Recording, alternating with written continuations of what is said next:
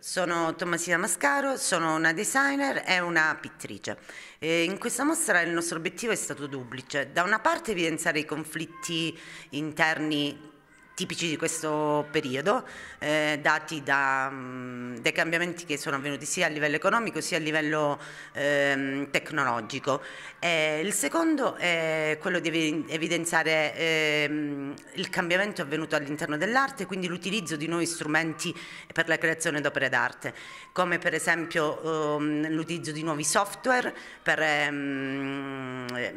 per, per, la creazione di opere d'arte, come potrebbe essere eh, eh, la creazione di eh, dipinti grazie al, um, all'utilizzo di software quali in, InDesign, Illustrator. Allora, il nostro obiettivo è duplice, eh, il secondo è quello di eh, evidenziare come ehm, eh, sia cambiato il modo di fare arte mediante l'utilizzo di nuovi strumenti, eh, ehm, come quelli tecnologici, quindi l'utilizzo per eh, la creazione di opere d'arte di software o la riproduzione di opere d'arte ehm, grazie al, alla tecnologia che ci permette di essere e di riprodurre ehm, velocemente delle, mh, mm, dei disegni, delle, eh, che ci permette di, di, di riprodurre